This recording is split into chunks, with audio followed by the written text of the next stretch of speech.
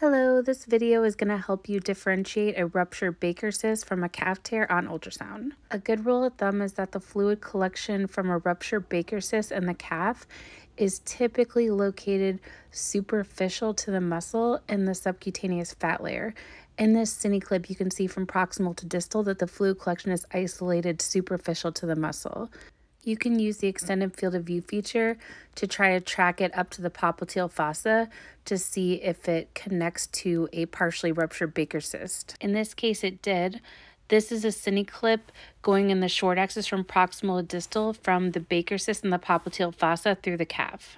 In this example, the fluid has internal echoes from hemorrhage, but may also be simple. The difference in the appearance with a calf tear is that the fluid collection is going to be located deep to the fascia that lies between the subcutaneous fat and the muscle. In this example, it's easier to tell on the short axis. Fluid may be located intramuscular or within the aponeurosis. In this case, it's just deep to the fascia within the muscle belly. Thank you so much for watching. Don't forget to read the description and add a comment if you have something to add. And please remember to like. Have a great day.